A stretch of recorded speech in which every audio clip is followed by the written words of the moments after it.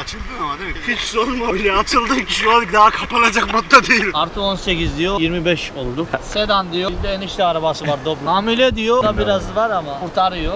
Toplasana. Düğüne gideceğiz daha. Klimal. Aç camı serinlerdi aç. Ben kiviyi sattım. 2 liradan sattım. Migros'a girdi. Benim kiviydi sanki ya. Baktım Migros 17 lira. Tek çare sargı. Niye buraya geldik? Neden geldik? Kızlar gelmek isterse bütün masraflarınız bana ait. Nereye mereye yatırın. Aha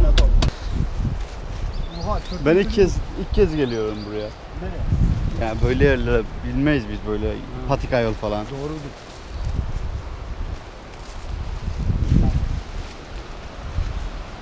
Oo. Evet, Akın Tuncer'in bizi getirdiği yer. Babamın deriz. Komple mi? Ha, avuya kadar babamın ardından şaş 80 metreden atlıyor. Yok aman abi.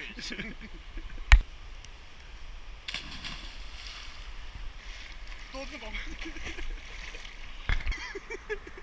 ne düşünüyorsun dere hakkında? Şu an durdu beynimde. Açıldın ama değil mi? Kaslar gevşedi. Hiç sorma öyle açıldın ki şu an daha kapanacak modda değil. Evet,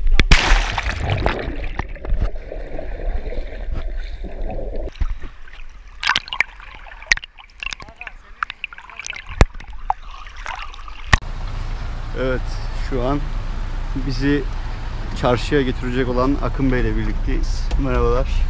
Merhaba buyur. Haydi dedin. Sıcak mı içerisi? Yok yok klimal. Doğal klima. Aç camı serinlerdi aç. Tamam, gördük.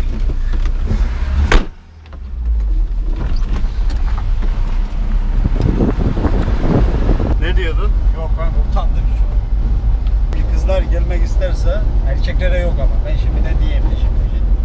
Bütün masraflarınız bana ait. Yolu siz çekeceksiniz. Burada ben sizi nereye mereye götürürüm. Aha Anadolu. Bununla değil. Bir üst seviyesine çıkacağım. Doç moç bulurum. Turizm burada tabii çok fazla şey yok. İşte Ruslardı, Ukraynalılardı, ne bileyim Slovaklardı vesaire. Nerede? Buraya gelmiyorlar çünkü buraya Yok. daha çok Arap turist geliyor herhalde. Buraya. Evet. Buraya Arap geliyor. Tamam mı? Parası, parası kıt olanlar. Bir daha çok bolca Gürcü geliyor. Bu ara Afgan da adam değil, Afgan geliyor bu ara. Afganlar nereden bulmuş burayı? Onu Afgan'ın bir tanesi çevireceğiz, soracağız tamam mı abi? Ben ne bileyim nereden buldun Bilmiyor buraları. Ne etsin zamanında? Buraları bilmiyoruz. Akın gezdiriyor bizi. Akın buranın yerlisi. Şu an ben gitmiyorum. O kadar araba kendi orijinal gidiyor. Öyle biliyor.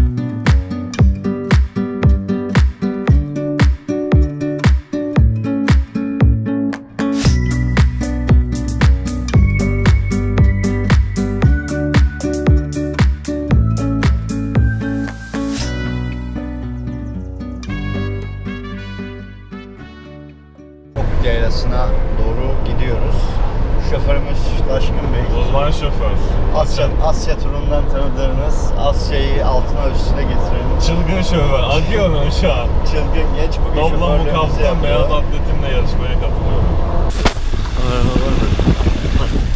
Yapma ya ben sağa gittim diye dikenlerden geliyorum da. Değişik bir yola girdik. Biz niye buraya geldik, neden geldik, niye geldik bilmiyorum. Manzara böyle.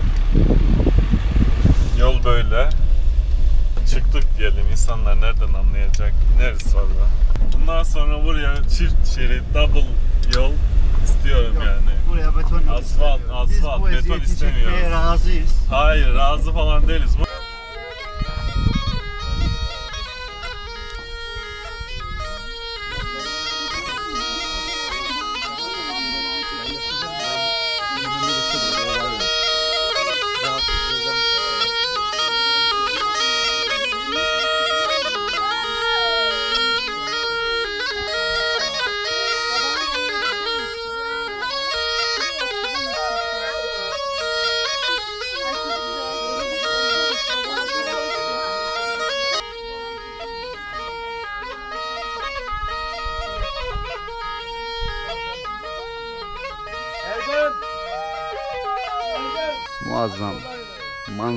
enfes. Şu an harika bir sis çökmüş durumda. Taşkın Bey'i görüyoruz burada. Nasılsınız efendim? Orta.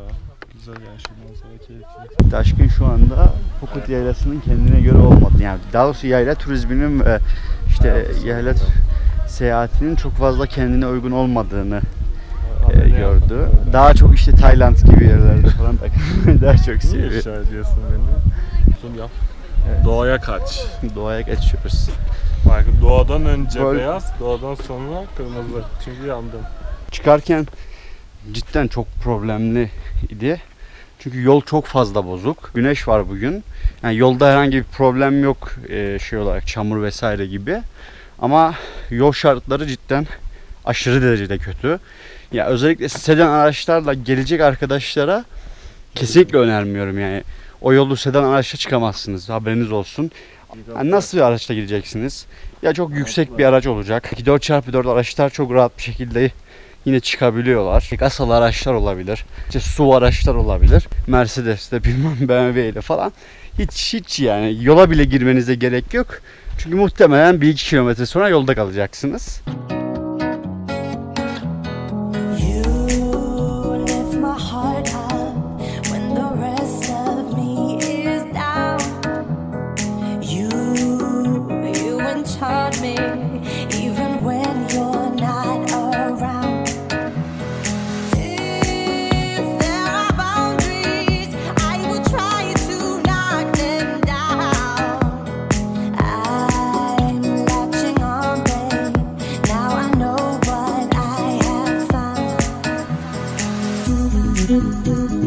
Thank you.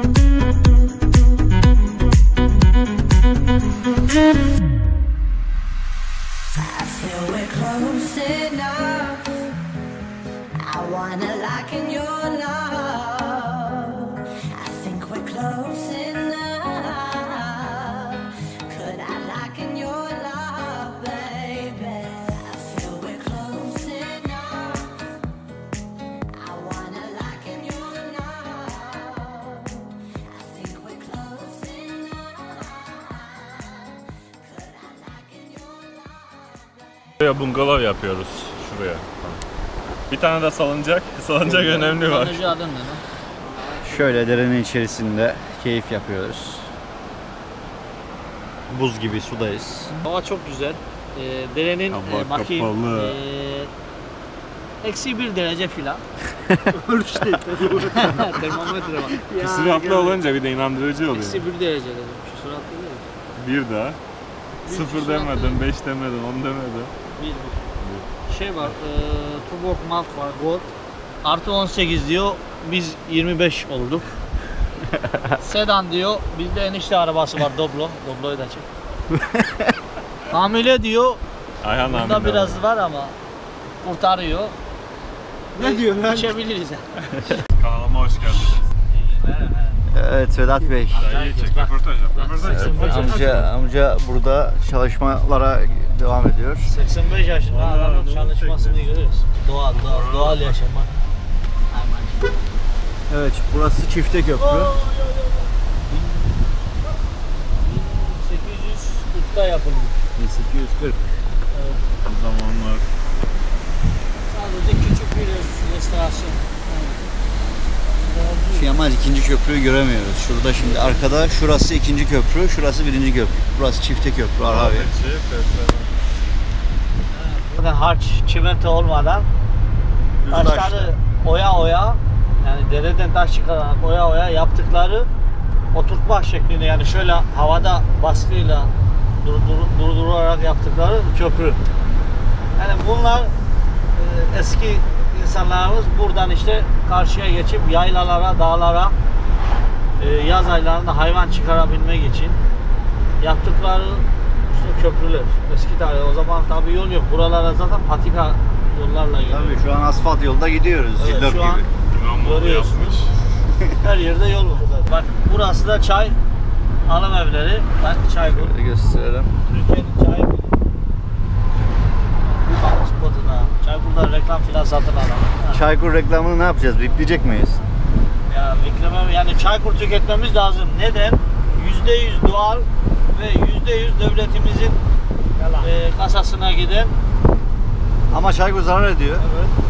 ya bunlar yalan. Spekülasyon. Dış güçler. Peki sen böyle otlu motlu çay satmıyorsun değil mi Çaykur'a? Hayır kesinlikle. Birinci sınıf çayını Çaykur'a veriyorsun. Kesinlikle zaten eee yani üreticimizi burada bilgilendirmemiz lazım. Nasıl? Gürcü alıp çaya sokmayın. Ya Gürcü alıp çaya sokmayın. Yapabildiğiniz kadar kendiniz toplayın. Çünkü bu- yani paramız niye dış ülkelere gitsin? Yani desteği var, kesin parası var. Bunlar tabii çok güzel şeyler. Devlet destekli üretim yapıyoruz. Yani şu anda Türkiye'de devlet destekli tarım bir şey yok yani. Bir tek çay kaldı diye. Peki çay fiyatı nedir yani? Özelin ödem veriyorsunuz. Devlet kaç Şimdi liradır Şöyle alıyor? tabi devlet babamız e, bizi özellere peşkeş çekiyor diye diyebiliriz. Farklı bir şey geliyor. Ya peşkeş çekiyor yani. Bizi, Sanki- bizi mağdur ediyor. Biz de diğer üreticiler gibi ucuza tabii ki çay satabiliyoruz. Yani bazen Gürcü alıp toplattığımızda zarar bile ediyoruz. Yalan yok özele satar gibi ama tabii e, bir kısmını devlete sattığımız için biraz daha kurtarıyoruz. Şimdi sabah 5'te kalkıyoruz. Akşam 5'e kadar yoğun bir şekilde yağmurda, işte soğukta, güneşte, Karda. kar, çay sezonunda kar olmuyor pek de. Bu zor, zor şartlarda zor şartlarda topluyoruz. Kivilerimiz var. Kivi bir de buranın kivisi kaliteli. Kaliteli ama özel sektör ya böyle bir şey olamaz. Ee, ben kiviyi sattım. Geçen sene kiviyi sattım. Birinci kalite kiviyi 2 liradan sattım. 10 gün sonra mı 15 gün sonra İstanbul'a gitmiştim. Migros'a girdim. Burada tabii firma ismi veriyoruz. Söylemedim. Migros'a girdim. Ya yemin ederim benim kiviydi sanki ya. Üstüne yasa aynı benim kivi kalınlığında baktım. Kilosu 17 lira. Böyle bir kar marjı ben yani görmedim hayatta. ya. Almayın arkadaşlar. İsteyenlere tabi gönderim sağlayabilir. Yani 12 liraya yollar. 17 liraya boş yere Migros'tan verin. Olabilir. Yapabilir. Niye yapmayalım? Doğal. Bahçeden çıktığı gibi geleceğiz. Gübresiz. Tabi burada şimdi kestane balığı, işte çiçek Şimdi, balığı, tabii çam oraya- balığı. Şimdi oraya geliyoruz. Şu doğayı böyle çek. insanlara Şöyle bir alalım. Mesela giderken bile hepimiz alıyoruz. Çiçek kokusunu, işte Ben bunu çam kokusunu. Burada herkes alıyor, görüyor. Burada yani bal oluyor. Buranın arıları bile baldan alıyor bak. Geliyor çiçeğe konmuyor. Bala konuyor, alıyor oradan götürüyor. Ha, hazırcı biraz sanki bu.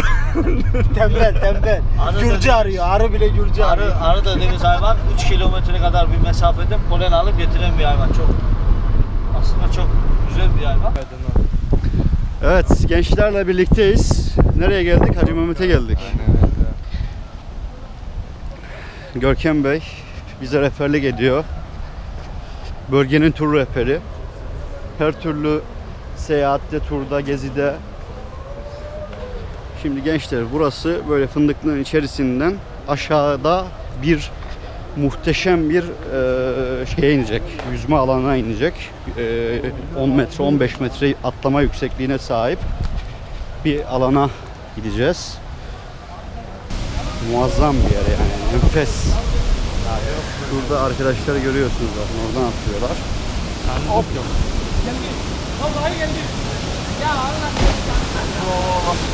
Evet, atlama yeri bu şekilde. Şuradan şelale akıyor. Yine bu ağacın üstünden e, atlayış gerçekleştirebiliyoruz. Buradan şu aşağıya. Şurası zaten takribi 10 metre falan. Orası da aynı. Burası da 15 metre civarında. Evet şu an Görkem Bey bizim mısırlarımızı yapıyor. Kendisi mısırcı başı. Bizim buradan Mısır'a çolo diyorlar arkadaşlar. Çolo Lazcası tabi. Evet. Altyazı eklersin ona.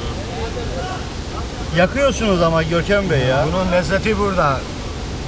Yanmadan yenmez bu. Harika bir yer yani. Anlatmama bir gerek bile yok. Şuradan şelale akıyor zaten. Şurada birinci e, yüzme alanı var. Şurada tekrar bir şelale akıyor. İkinci bir yüzme alanı var. Yine e, burada oturma alanları var. İnsanlar oralarda işte masalarını atıp şey yapabiliyor, oturabiliyor, eğlenebiliyor. Ya, muazzam bir yer zaten. Bize şöyle şimdi buradaki yüksekliği göstermek istiyorum. Burası cidden yüksek. Usul usul gidelim. Gösterelim. Şöyle bir yükseklik var.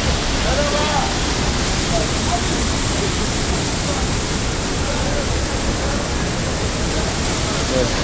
İşte asıl olay şura. Şu gördüğünüz ağaç. Tam şurada atlama yeri var. Tam buradan bu şekilde buraya düşüyorsunuz. Burası da yaklaşık 15-20 metre civarında ama şu alanda 4 metreye yakın bir mesafe var. Yani bu ağaçtan atladığınız zaman buraya geçip buraya düşmeniz lazım. Düşemediğinizse şuraya patlıyorsunuz.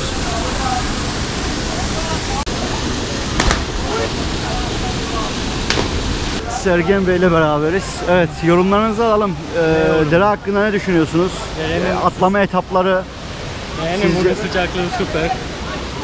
Mükemmel yani. kaç tur atladınız? Kaç tur? 3 tur. 3 tur atladık. Ee, etaplar 10 metre 15 metre. 15 metre var. Girişler güzel miydi? İşler süper ama Problem yaşadınız mı? kulağım ağrıyor. Onun dışında mükemmel. Oğlum oraya öleceksin oğlum, hasta olacaksın. De ben buna oturayım. Nereye Nereye tutunacağım burada oturunca? Adam ölsün mü istiyorsun? Yok tek çaresi her gün öyle diyor sana daha çekeyim. çözüm bulacağız diyor adam. Ya hala. Gözüne seveyim yağmur geliyor düğüne gideceğiz de abi yapma da. Ya masayı getirmedin aşağıya şimdi masayı sahipleniyor. Vallahi ya. Ha böyle ineceğiz. Ben düşmem oğlum. Ha bu şapka düşürse tutuyorsun Dur onu. dur bir tane kağıt fazla alayım abi yapmayalım da şimdi. Dur. Kozmaça. Kozma çağırmış tamam. Aha Allah belasını versin hiç masa yok. Topla kağıdı. Toplasana. Bizi. Allah lan. Ha, ha. Haydi lan. Amaç Görkem'i batırmak zaten. Evet, şoförümüz Sergen Bey bugün. Özel makam şoförlüğü yapıyor. Ee, biz de böyle gidiyoruz yavaş yavaş. Ya bir kez kapını açıp. Aa, Kapı açık gidiyoruz ya. Sıradan çıktık, şehir merkezine doğru yolculuğumuz devam ediyor. Evet, Buradan şoförümüz nasıl çıkacağız ya? Sergen. Kuş turda kaldıramam. Gazla çıkacaksın da ver.